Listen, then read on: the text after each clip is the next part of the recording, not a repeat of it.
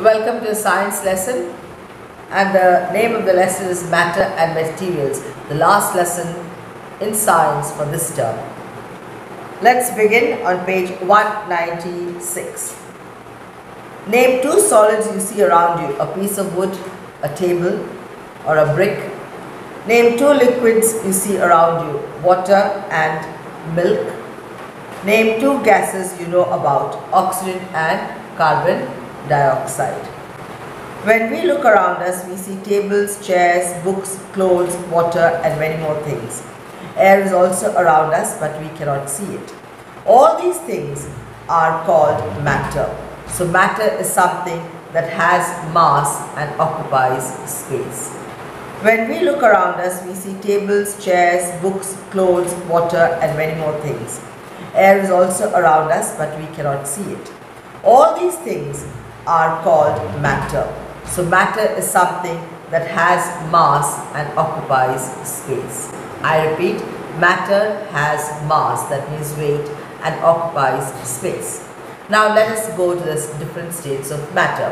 Now the different states of matter is solid, liquid and gas. Now the very easiest example that I can tell you is ice. Now ice is the solid form of water and liquid form of water is water itself and the gaseous form of water is water vapor.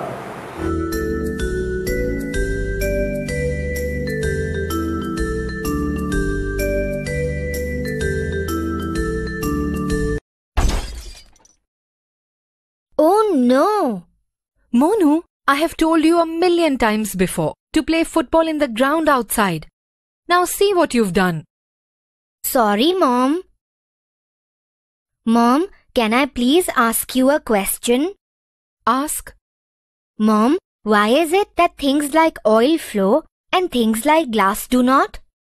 That is because oil is a liquid and glass is a solid substance. Solid, liquid and gas are the three states of matter.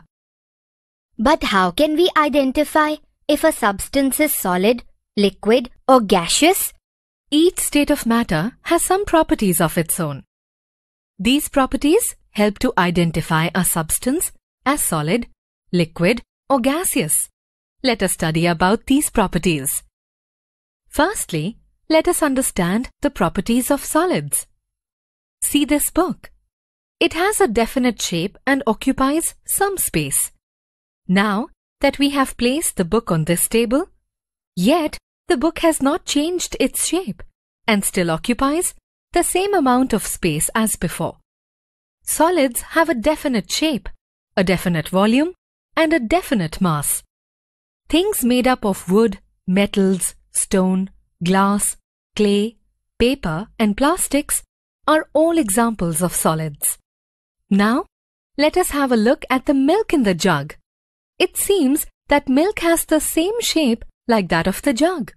Let us see what will happen if the milk is poured in the glass. As you can see, the shape of the milk changes from the shape similar to that of the jug, and it takes the shape of the glass.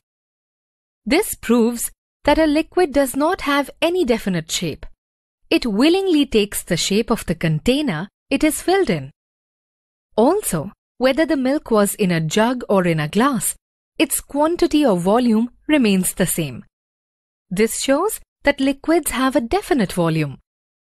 And liquids flow too, right, Mom? Right, my dear. Liquids flow from a higher level to lower level if poured on the ground. Thus, we can say that all liquids have a definite volume and mass, but not have a definite shape, and the liquid substances flow. Water, milk, oils are all examples of liquids. Now, see these balloons. They have air inside it. Air is a gaseous form of matter. Now let us see what happens if I transfer all this air into a jar. The air spreads in the jar and occupies the entire space inside it.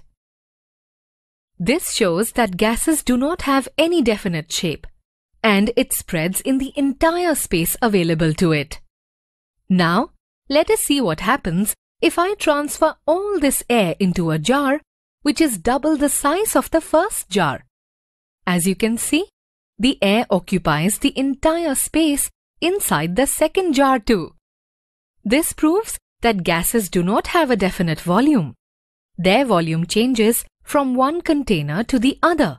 Since air is a gaseous matter, we can say that gases do not have a definite volume and shape, and it spreads in the entire available space.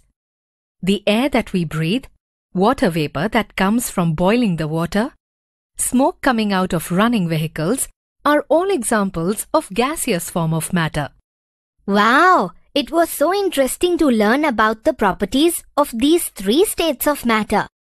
Now, I can easily identify different substances as solids, liquids, or gases. Matter exists in three states solid, liquids, and gases. Matter is made up of very tiny particles called molecules. These molecules are so small that they are not visible through naked eyes. We cannot see molecules, you have to view them through a microscope. Molecules of matter are constantly moving. The arrangement of the molecules determines the state of the matter. Matter exists in three states solid, liquids, and gases. Matter is made up of very tiny particles called molecules. These molecules are so small that they are not visible through naked eyes. Molecules of matter are constantly moving. The arrangement of the molecules determines the state of the matter. Now in a solid, the molecules are closely packed with no intermolecular space and that forms a solid.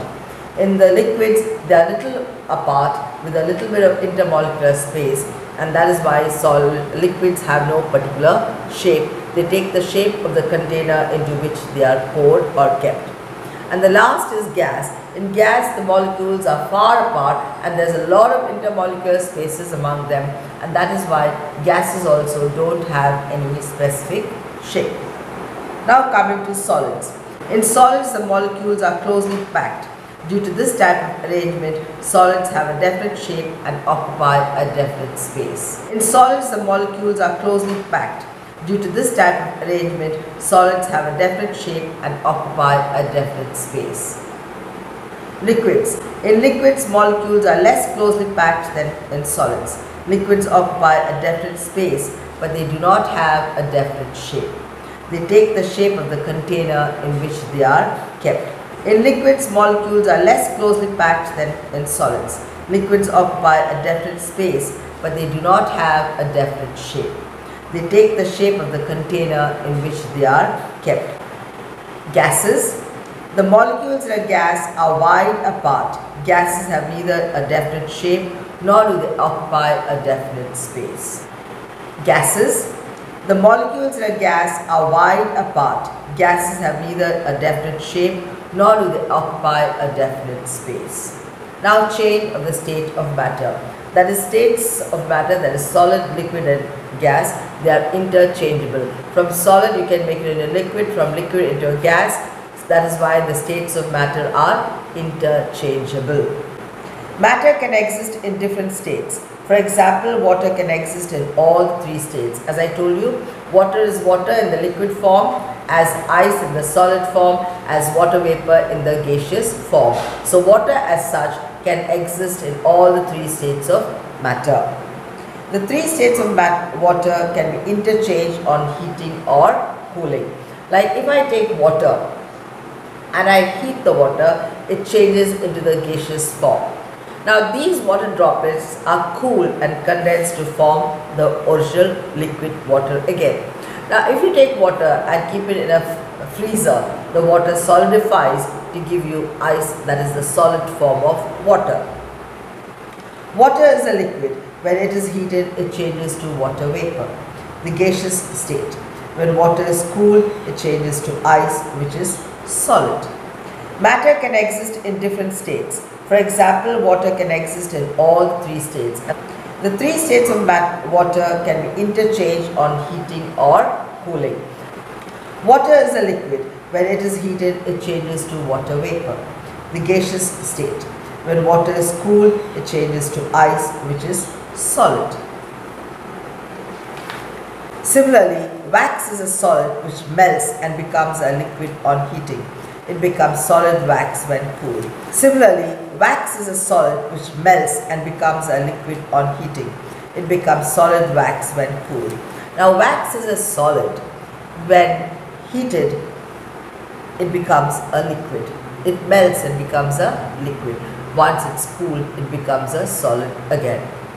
Now, changes in matter. There are two types of changes in matter a physical change and chemical change. Now, physical change. Physical changes are changes in which no new substances are formed. For example, you tear a piece of paper, the paper remains the same. There is no new substance that is formed. When you tear paper, no new substance is formed. Chemical change. When there is a formation of a new substance, it is a chemical change. In chemical change, new substances are formed. If paper is burnt, ash is formed. This is a chemical change.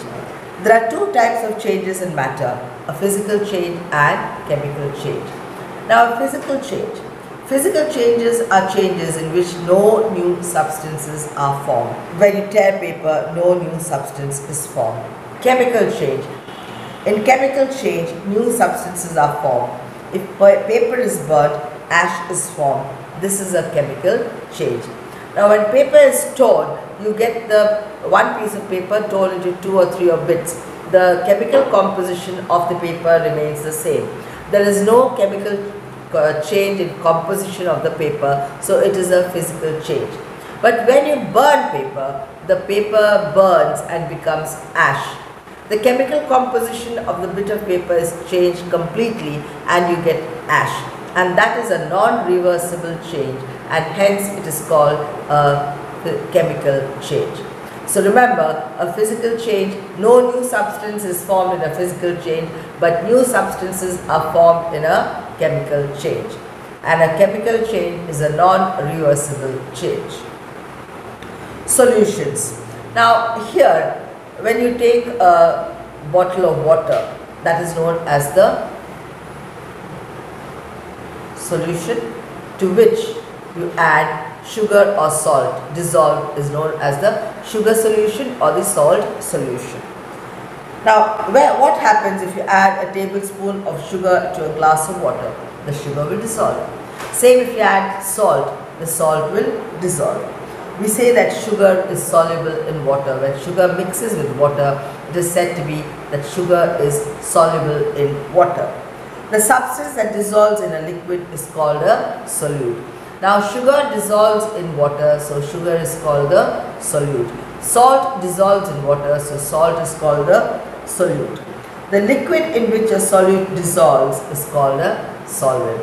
Now the liquid in which this sugar has dissolved or salt has dissolved, it is called the solvent and here the solvent is water. And the liquid that we get after a solute dissolves in a solvent is called a solution. So when the solute that is sugar or salt dissolves in the solvent that is water, the result is a solution. There are some substances that do not dissolve in a liquid. They are said to be insoluble. For example, sand is insoluble in water. For example, if you take a little bit of sand and pour in the water, the sand settles to the bottom. It is not soluble in water. These are called insoluble substances. Watch what happens when sugar is added in the water.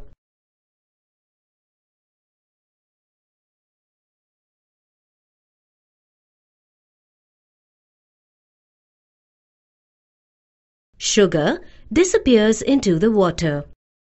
Does the sugar settle down after some time? Well, it does not. This is a simple experiment that introduces us to some important terms. When something mixes in a liquid and disappears, we say that it has dissolved in it. In this case, the sugar dissolved in water. The ability of a substance to dissolve in a liquid is called its solubility. The substance that gets dissolved in the liquid is called a solute. In our experiment, sugar is the solute. The liquid in which a substance dissolves is called a solvent. Water was the solvent that we used to dissolve sugar. The liquid that we get after the solute is dissolved in the solvent is called solution. Yes, we just made a solution of sugar. Let us now continue with our solubility experiments. We have with us common salt, pepper powder, potassium permanganate, fine sand, vegetable oil, alcohol, vinegar, and glycerine. Let's add a small amount of each one of these separately into water one by one. Okay, let's begin with common salt. Here it goes. Now, some stirring. And what do we see? Common salt has got completely mixed with water. That means we do not see these particles in water. So, common salt is soluble in water. Now, let's do the same one by one with all the other samples. Let's test the solid samples first.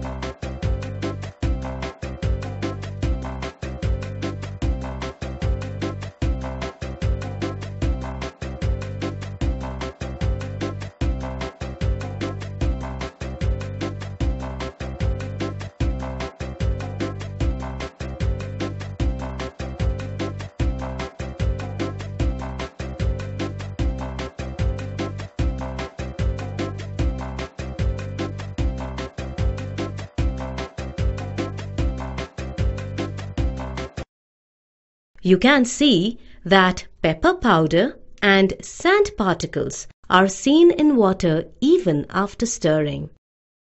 So, they are insoluble in water. Potassium permanganate has got completely mixed with water. So, potassium permanganate is soluble in water. Let's test the liquids now, one after the other.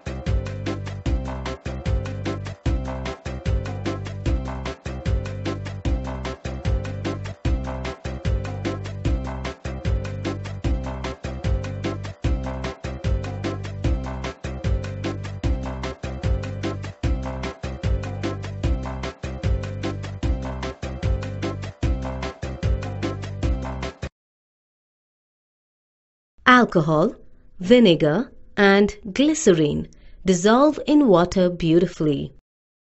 Observe that they do not form separate layers. Each of these can mix in water in any proportion. We call this property as miscibility. When two liquids mix with each other, they are called miscible liquids. Oil forms a separate layer on top of water without mixing with it. Oil does not dissolve in water. Oil and water are called immiscible liquids. Now, when you know what solubility really is, let us check out why this happens. The solute particles break down into smaller particles. When the solvent is stirred, the mixing happens faster.